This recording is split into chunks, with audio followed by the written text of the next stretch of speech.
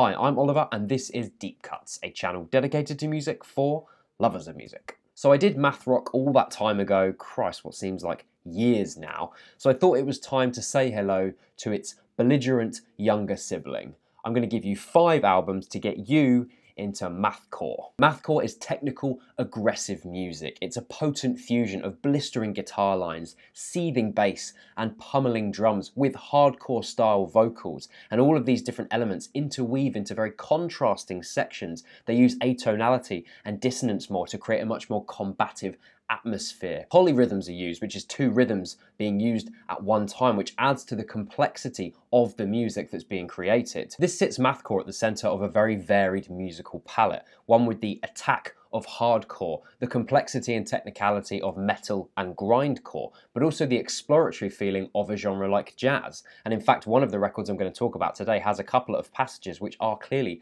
very jazz influenced. So in these in this unlikely mashup, you have the ferocity and complexity of the mathcore style. Mathcore properly kicked off towards the end of the 90s, and there is basically a holy trinity of mathcore records, a bit like shoegaze records when I did five albums to get you into shoegaze way back. So obviously I will be talking about those three albums to start off with. There is, as always, a contention when it comes to labels, this time whether some of these bands are labeled mathcore or perhaps metalcore. I'm keen to hear your thoughts on that. Let's have a discussion about it, so let me know in the comment section below. Let's get into it. Number one, Botch with We Are the Romans, released in 1999. Oh boy, here we go.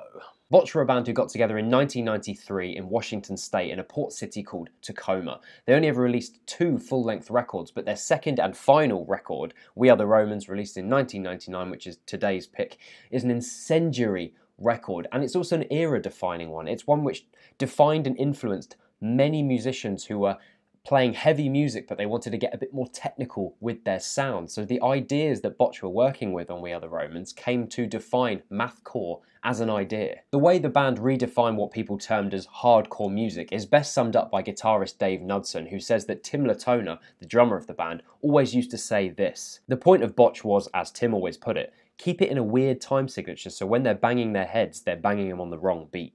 It's something you might have even said if you ever played in a band when you were younger, which was heavy but also quite technical. I know when I was about 16, 17 and I played in a couple of different bands, we thought it'd be hilarious the idea of throwing some kind of sideways rhythmic or melodic complexity to an audience to confuse them. There's a flavour of anarchy in there which goes hand in hand with the hardcore scene that this has grown out of, the punk scene, but also there's just a slightly different take on it. It's the technical side of things, adding technicality into the music. Opening track to Our Friends in the Great White North lays out Botch's mission statement with its varied time signatures its fast polyrhythms, its aggression, and Dave Verellen's attacking vocals. They use dissonance to their advantage in these sections, but they also know when to pull back. And what that does is that gives those more intense sections much more clout. There's a dynamic understanding here, a dynamic sensibility. The halftime change up at the midpoint of the track allows the whole band to come together on this big, meaty groove, and it only allows the knotty section a reprisal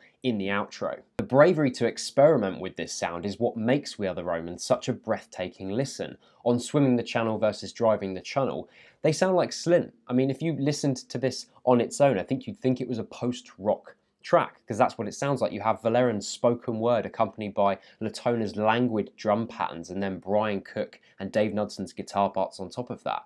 It's, it's a very slint moment. I really like this moment because it's very held back and it proves that this is a band that are all about crafting mood. It's not just about the complex moments, the complexity of the music, the technicality of the music. That is there, but that's there to craft mood as well. And they understand that there has to be uh, some give and take I mean, not with all mathcore records, but this is how this mathcore record operates, and that is to its credit. Man the Ramparts has a spectral male choir, another great example of them experimenting with form and instrumentation. It's actually quite sad that the band couldn't settle their differences and ended up splitting up in 2002, because I feel like they would have become much more of a household name in terms of the mathcore world. You know, Dillinger Escape Plan have become that, obviously, but I think it's sad that Botch often get left out of these conversations because this is an important record in the mathcore genre. We Are the Romans is an essential listen to get into mathcore, and also it's a great listen for anybody who's a fan of impassioned, aggressive, technically impressive music. Number two, the Dillinger Escape Plan with Calculating Infinity, also released in 1999. To me, a long-time Dillinger fan, it feels like sacrilege to not be picking a record with vocalist Greg Puciato on it, the guy who joined the band in 2001 and became such an integral part of who the Dillinger Escape Plan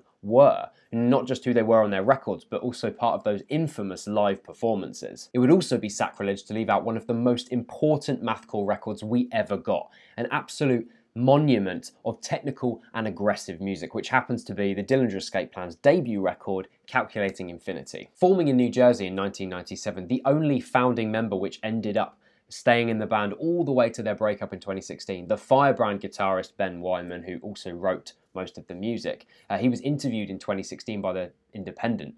And he talked about how Calculating Infinity came to life. Everything about Dillinger was incorrect. Certainly, in terms of theory, we went against everything. Calculating Infinity was us effectively ripping up the music theory book.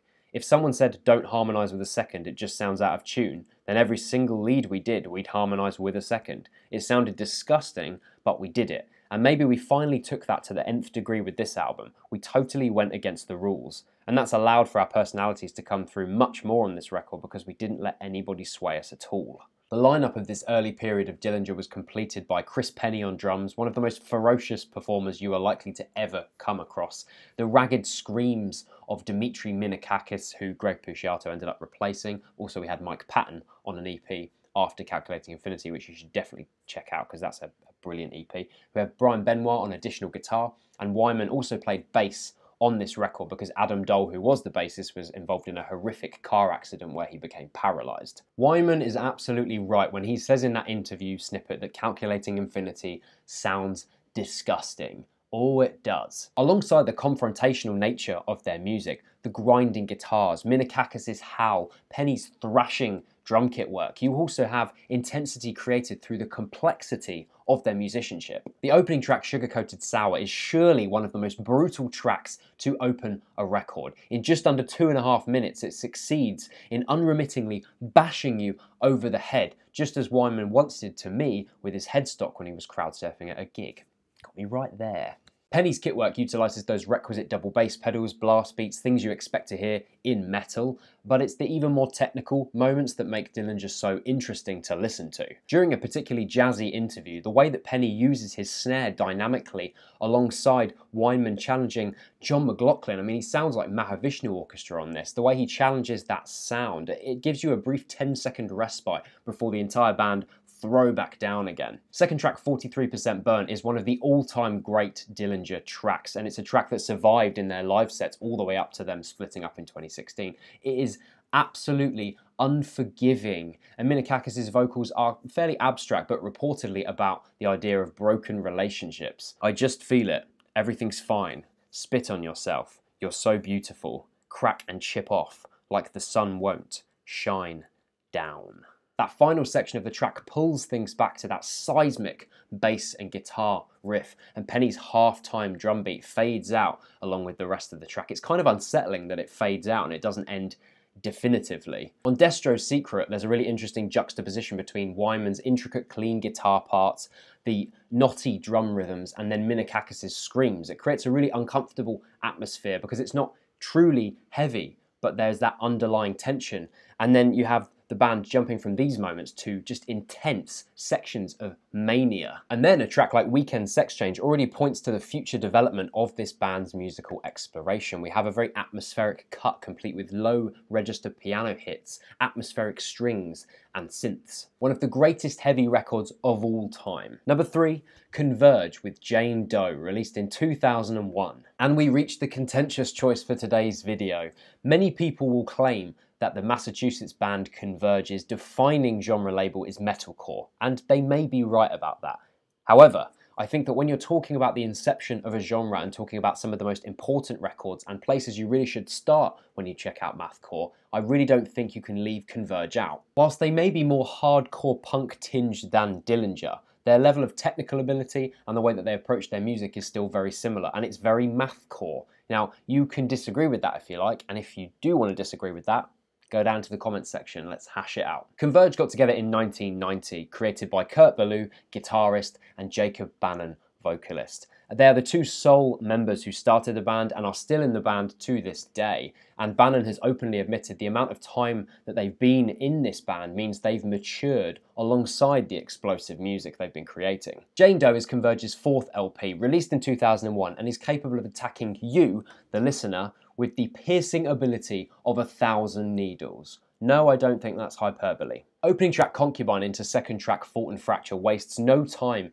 in demonstrating this. Bannon's vocals are so distorted they sound as if they might just cut out altogether, leaving you no space to escape from the discordant guitars of Ballou and Dalbec, Newton's bass, and Koller's unabated drums. The guitars are so discordant, more so than in Calculating Infinity. Heaven in Her Arms has this 7-8 section where this disgusting, grinding bass entwines with the drums, and it's a complex, aggressive moment that to me is absolutely mathcore. It's a synthesis of what is so great about technical and heavy music. There is also a breakdown towards the end of this track, which is very metalcore, so I can see the contention in attributing these genre labels to this band. Elsewhere, though, the more experimental side of the band begins to seep out. Hell to Pay has slightly dreamier vocals, and the bass is given space to really cut a deep groove into the track or the particularly emotive finale, the 11 minute Jane Doe, which sends the record out on quite a melodic note, which you might not expect after the rest of the record's been tearing you limb from limb. Like Minakakis' lyrical focus, Bannon focuses on the negativity of relationships on this record. And though you might not actually be able to make out what he's saying because of his necrotic screams. There's a real poetic depth to what he's saying. It's probably worth noting that in the liner notes of Jane Doe, the lyricism is obscured, and although the band have uploaded the lyrics to their website, some suggest that it might be different to what Bannon's actually singing in the tracks. Nevertheless, I heard that phone call, the hesitation, the awkward silence. I felt everything in those seconds splinters of sentence and heartless advice.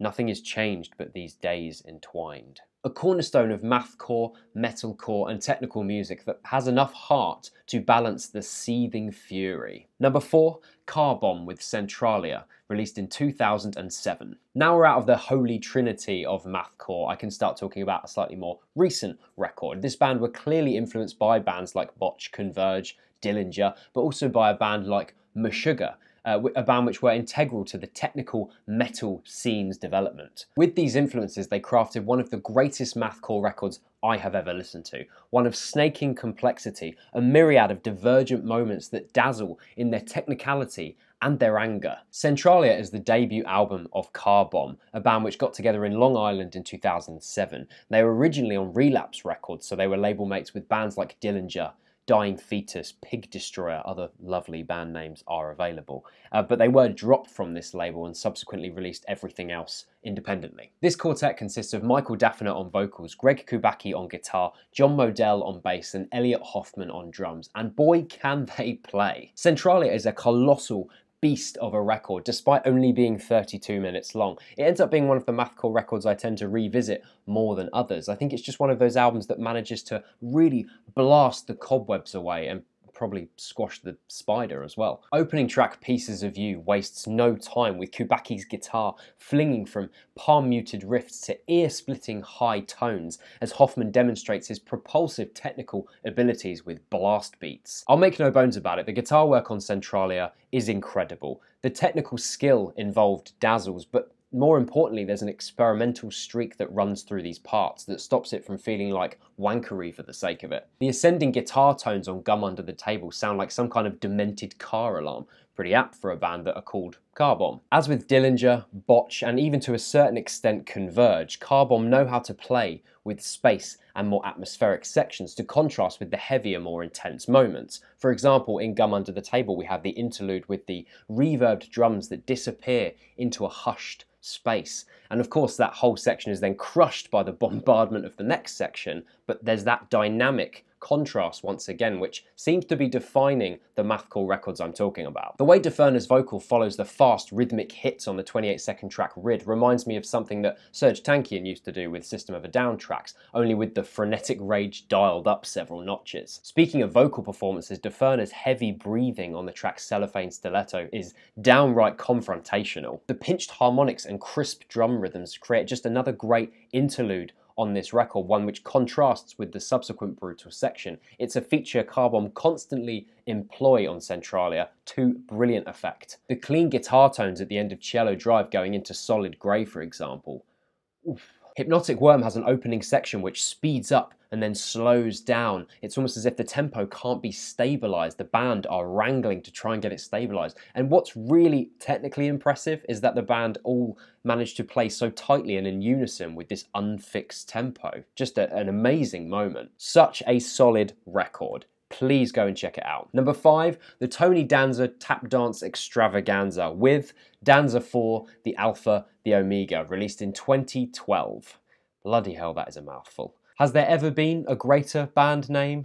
Probably not. Joining the ranks of technical or heavy bands with names that seem like in jokes none of us are part of, like You Slut or Aborted Hitler Cock, please don't go and check out the second band. The Tony Danza Tap Dance Extravaganza were a Tennessee band that has a long list of people who were involved in recording cycles, touring cycles, but at the end of the day, for this final record in the Tony Danza Tap Dance Extravaganza band, which I love saying that name because it's such a tongue twister, and every time I get it right, I'm well happy with myself. But for this final record, Jesse Freeland, who is the was the founding member and the vocalist, leads proceedings along with a guy called Josh Travis, who recorded and performed every single instrumental part on this record. That's an impressive feat on any album, never mind the level of ability required to nail these parts. The fact that Travis can play bass, drums, and guitar to this level makes me sick with envy. Danza 4, The Alpha the Omega, released in 2012, is part of a four record cycle for this band, and to be quite honest, I think it's the best thing they ever did.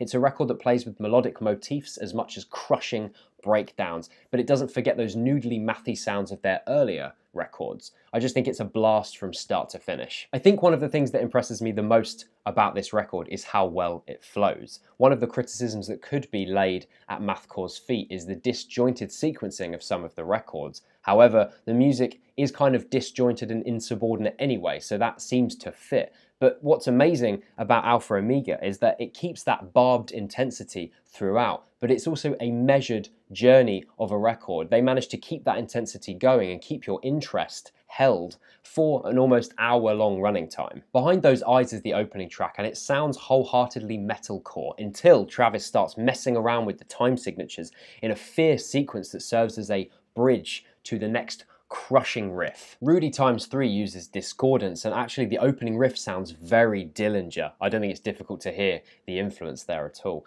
And Freeland expressing a lot of unfiltered energy through his performance, which perfectly matches with that technical cacophony that Travis is creating. The crushing power of the 7 minute Paul Bunyan and the Blue Ox is a massive highlight, a brilliant track. Part of their success in creating a cohesive hour long record is their use of ambient soundscapes, different ideas, and not just those kind of riff riding, crushing moments. It's what other bands on my list today have employed and to great effect. And the Tony Danza Tap Dance Extravaganza, yes, employ that as well to very good effect. So you have these ambient pads which serve as a bridge from the track Crossfire into Hold the Line. Hold the Line's a track which is about, well, it's dedicated to the armed forces and it actually has samples of frontline battles in it which makes for quite a poignant track. You should really check this record out, whether you're a fan of the style or you've never listened to mathcore before. And that's my five albums to get you into mathcore. Lots to discuss on this genre. Please let me know your thoughts on the records I picked in the comments section below.